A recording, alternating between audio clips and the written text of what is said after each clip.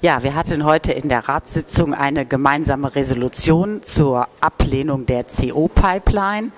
Wir haben große Sorge, dass diese Pipeline, die ja ein hochgiftiges, geruchloses Gas transportiert, was also sofort tödlich wirkt, wenn es austritt, dass die sehr gefährlich hier in unserem Stadtgebiet für die Bürgerinnen und Bürger ist.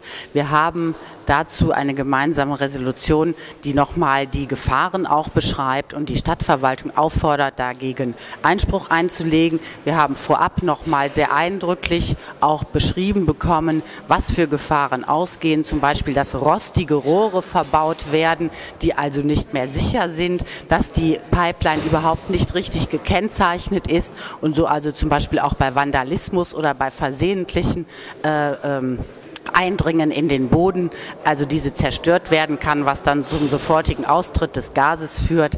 Also so kann man wahrhaftig nicht planen und mit der Gesundheit der Menschen umgehen. Und wir hoffen sehr, dass wir wirklich diese Pipeline noch verhindern können.